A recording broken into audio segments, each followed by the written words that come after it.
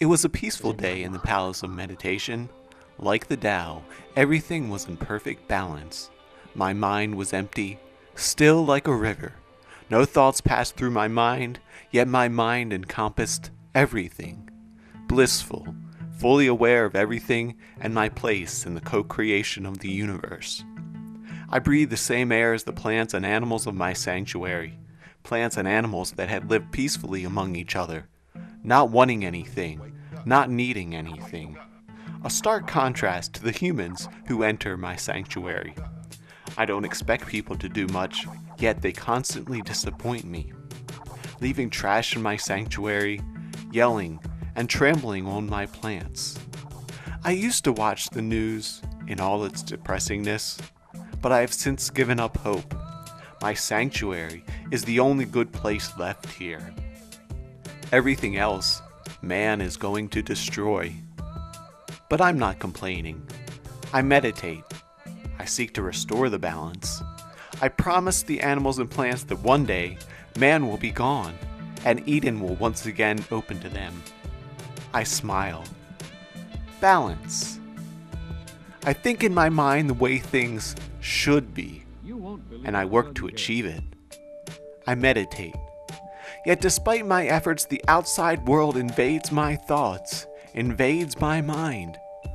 I have a dream, and my dream is this Build a spaceship, settle elsewhere.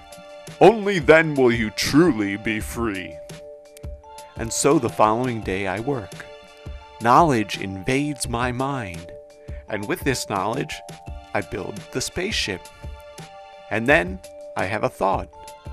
With this knowledge, I could do many other things.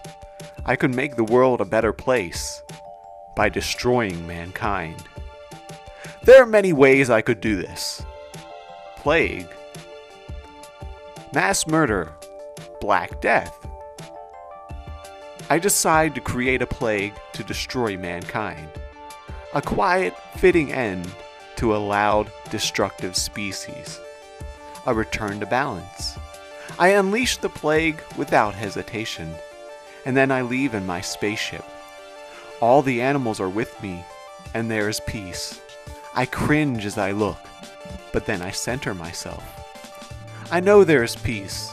I remind myself of this, and there's balance. Days pass, mostly well. I sit in meditation, in balance. Yet, despite my efforts, in my haste and laziness, I accidentally trample some of the plants.